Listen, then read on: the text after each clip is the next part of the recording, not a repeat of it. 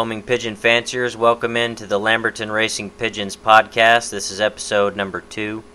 We were supposed to have episode number two as the trip to Belgium. We're going to add some more content to that episode and do it on a future podcast. Uh, today I'm here to talk about some emails and Facebook messages I've received asking similar questions about the benefit of racing young birds on the Widowhood motivational system.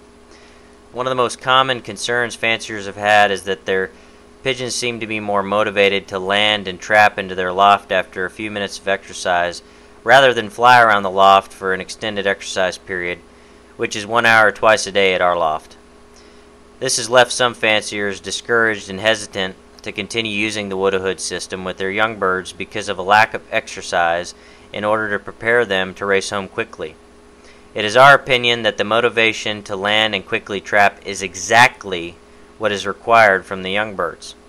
The Widowhood system is meant to help the young birds race home instead of fly home as unmotivated pigeons tend to do. However, this system will require fanciers to teach their young birds to fly for one hour by kicking a ball in the air as many times as it takes to keep their pigeons flying and teaching them to exercise for an hour without stopping to land. My father, Dr. John Lamberton, explained this issue perfectly in a 2009 blog posted on our website at drjohnlamberton.com and repeated in the following paragraph. Quote, Pigeons are not dumb. Pigeons are incredibly smart. Fanciers are dumb when they try to treat pigeons like chickens or like some other inanimate object.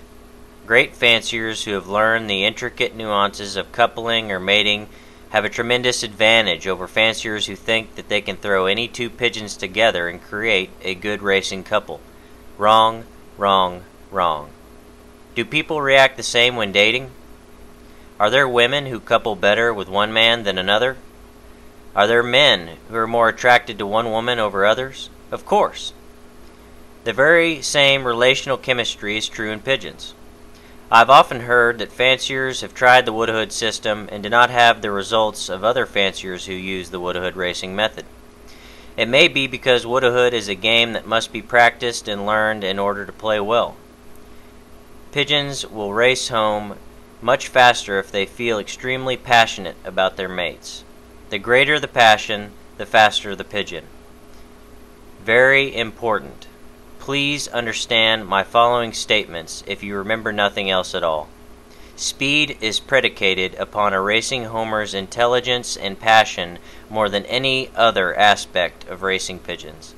More than wing theory, more than back strength, more than eye sign, more than any type of grain or additive to the water, more than any type of racing tonic that anyone formulates.